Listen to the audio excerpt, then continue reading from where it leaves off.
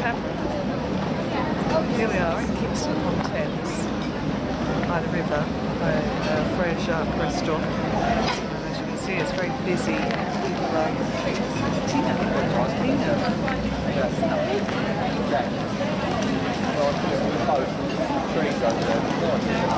Your down, he's coming through. Oh, you've got pancakes set up, please. He's coming through the next boat. Deborah Jen, news at 10, Kingston upon Thames.